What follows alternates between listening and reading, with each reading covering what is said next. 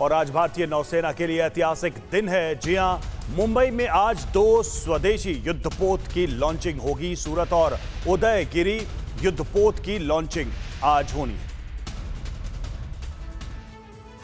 भारतीय नौसेना बेड़े में आज दो स्वदेशी युद्धपोत शामिल होने जा रहे हैं। ये युद्धपोत हैं सूरत और उदयगिरी, जिसका उद्घाटन रक्षा मंत्री राजनाथ सिंह आज मुंबई के मजगांव डॉक्स लिमिटेड पर करेंगे। सूरत 15 बी डिस्ट्रॉयर प्रोजेक्ट का चौथा जहाज़ है। इसे गुजरात की व्यवसायिक राजधानी का नाम दिया गया है, जबकि उदयगिरी 17 ए फ्रिगेट प्रोजेक्ट का युद्धपोत है। ये प्रोजेक्ट 17 ए का तीसरा फ्रिगेट है। 15 बी और पी 17 ए के तहत दोनों युद्धपोतों को देश में ही डिज़ाइन और निर्माण किया गया है पी फिफ्टीन ए की तुलना में पी फिफ्टीन बी में पाँच अंतर हैं। पहला, ये कि इसमें 127 मिलीमीटर की एम के नेवल गन लगी है हालाँकि इस दौड़ में ओ मिलारा 66 एमएम गन भी शामिल है। सोनार सिस्टम को हल से हटाकर बो तक लाया गया है।